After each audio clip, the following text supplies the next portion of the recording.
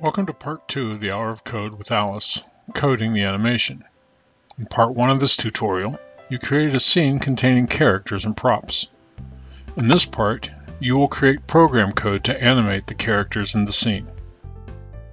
In this tutorial, we will continue where part one left off.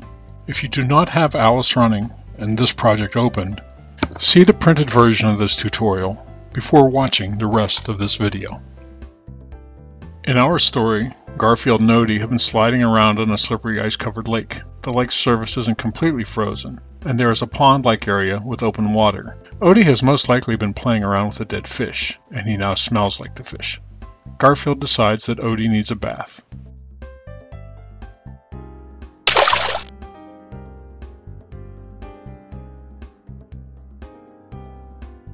To create the animation, each action of our story will be coded as a statement in Alice's code editor.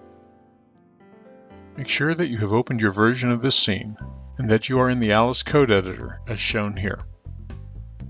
On the left side of the window are two panels, the object tree at the top and the details panel on the bottom.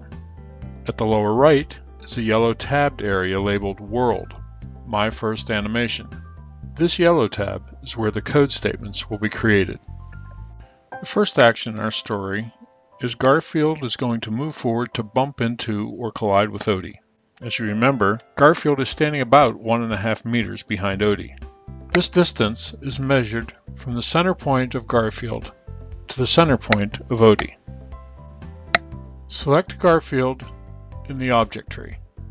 You do this by clicking on the tile labeled Garfield. Now we want to select the Action tile in the Methods tab of the Details panel. Use the mouse to click and drag the Move tile into the code editor. Pop-up menus prompt you for the direction, which in this case will be forward, and the distance, which will be 1 meter. To test our code, click on the Play button in the upper left corner of the Alice programming environment. A runtime window will pop up, where you can view the animation as the code runs. You see Garfield move forward to collide with Odie. You can push the restart button several times to view the animation.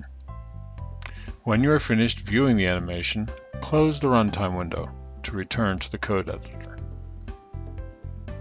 Next, we will create a statement in which Odie will move forward. We don't really know exactly how far Odie is from the pond, so we will make a good guess and try 4 meters as the distance. Select Odie in the object tree and drag the Move tile from the Details panel into the code editor. Again, we select Forward and we will select Other from the pop-up menus. A number pad will be displayed enter 4.0, and click OK. Click on the play button to test your code. Odie should now be on the pond, as we see here. If Odie does not end up in the pond, you will need to adjust the distance that Odie moves forward. To do this, click the 4 meters button in the Odie moves statement, and select Other to bring up the keypad to enter a value that you think will work better. No doubt you have noticed that the two code statements we created were executed one after the other. Garfield moves forward, and then Odie moves forward. Now we want to create code to have Odie move down into the water and make a splash sound at the same time. Alice has a do together control statement. The do together control tile is found here at the bottom of the code editor. To use Do Together, click on the Do Together tile and drag it into the code editor. Create a code statement and put it into the Do Together block that will have Odie move down 5 meters. Select Odie in the object tree if he's not already selected. Grab the Move tile, pull it into the Do Together, select Down, and select 5 meters from the drop-down menu. Now, in the Details Methods panel, find the Play Sound tile and drag it into the Do Together block. From the drop-down menu, find the Splash command and select it. test our code by clicking on the play button. Odie should fall down into the water and you should hear a splash sound. If you do not hear a splash sound, check that your computer sound is turned on and is loud enough to hear. The next step is to have Garfield turn to face the camera. Select Garfield in the object tree and drag the turn to face tile into the code editor. Select camera as the target. Finally, we want to have Garfield say bath time. Find the say statement, drag it into the code editor, select other, and into the dialog box, type bath time and click OK. Now click on the play button to test our code.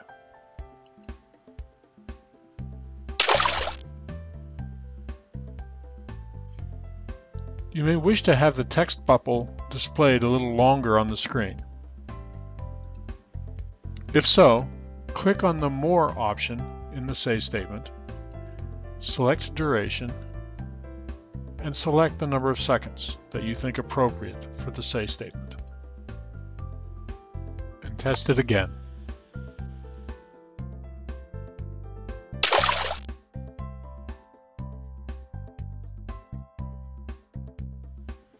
This completes the Hour of Code with Alice tutorial. Return to the Hour of Code website. There you will be able to share that you have completed this Hour of Code activity, and you may also receive a certificate for completing the Hour of Code. Feel free to take some time to explore more of Alice by modifying or expanding this story or even creating an animation of your own design.